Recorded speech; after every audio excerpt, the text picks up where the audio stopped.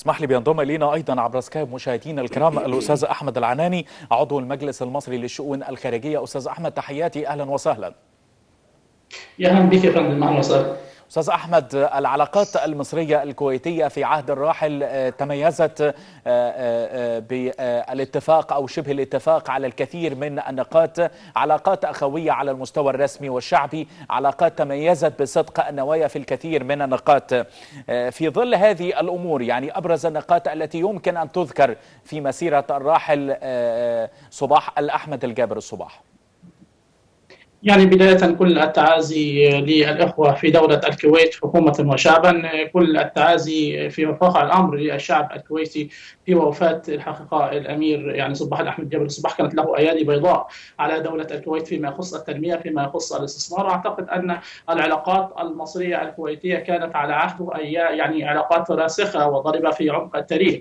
يعني من أسس في واقع الأمر لتوطيد العلاقات المصرية الكويتية كانت له في واقع الأمر يعني رؤية حقيقية حقيقيه تحترم في المنطقة من حيث استق... العمل على استقرار المنطقة يعني مع الجانب المصري يعني عبر الإدارات المصرية المختلفة خاصة يعني في عهد الرئيس عبد الفتاح السيسي. أعتقد أن كان له دور بارز وفعال فيما يخص استقرار الدولة المصرية وكان له موقف يحترم في الثلاثين من يونيو. اذا يعني الراحل كانت له أيادي بيضاء على السياسة الخارجية الكويتية خاصة فيما يخص العلاقات المصرية الكويتية والعمل مع وضع رؤية حقيقية لاستقرار المنطقة خاصة أن منطقة الشرق الأوسط كانت تشهد صراعات كان له له رؤية حقيقية فيما يخص الحرب الإيرانية العراقية وكان له تدخل مباشر لإنهاء هذه الحرب حرب يعني الثمان سنوات التي دفعت ثمنها منطقة الشرق الأوسط وبالتحديد دولة العراق وبالتالي تدخل وبشكل كبير من خلال الأمم المتحدة لإنهاء هذا النزاع. أعتقد أن العلاقات المصرية الكويتية هي علاقات راسخة، أعتقد أن كانت تفاهمات في الفترة الأخيرة من حيث يعني عدة ملفات هامه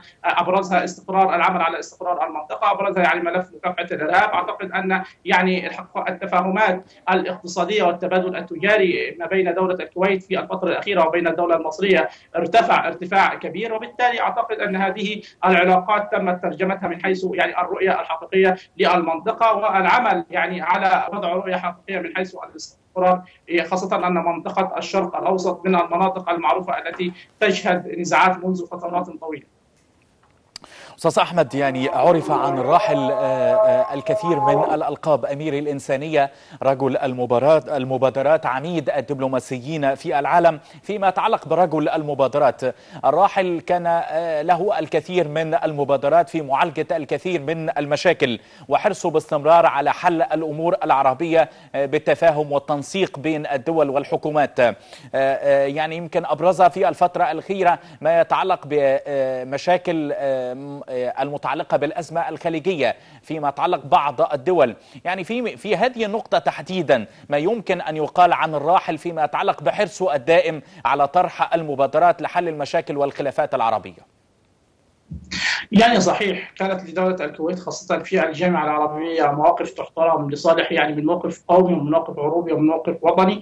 أعتقد أن يعني المبادرات التي كان يتبناها يعني الشيخ جابر رحمة الله عليه هي يعني العمل على الاستقرار في المنطقة. كما ذكرت حضرتك ربما تكون الأزمة الخليجية مؤخرا كان يتدخل وبشكل كبير وكان يعني يضغط على الجانب القطري فيما يخص أن يكون هناك سياسة متزنة لدولة قطر فيما يخص الحقيقة علاقاتها مع جيرانها مع دول الخليج. وبالتالي كان هناك علاقات متوازنة سواء مع الجانبين كانت له علاقة منفتحة مع الجانب السعودي والحقيقة الجانب البحريني فيما يخص إنهاء هذه الأزمة. أعوذ يعني أقول لحضرتك أن يعني له على مستوى حق بعض الدول التي شهدت يعني بعد ثورات الربيع العربي مشاكل خاصة الدولة السورية والمشاكل التي تمر بها اليمن. كان له تدخل مباشر فيما يخص بعض المساعدات الإنسانية وصول بعض المساعدات الإنسانية للجانب السوري والعمل على تحقيق يعني الاستقرار في الداخل السوري وفقا للقرارات الأممية وفقا لقرارات مجلس الأمن.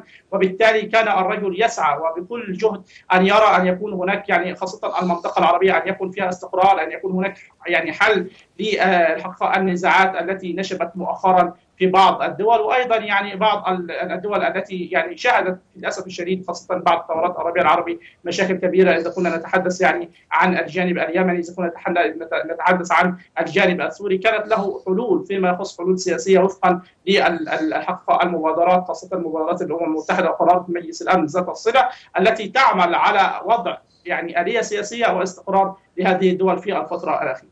أشكرك جدا الأستاذ أحمد العناني عضو المجلس المصري للشؤون الخارجية.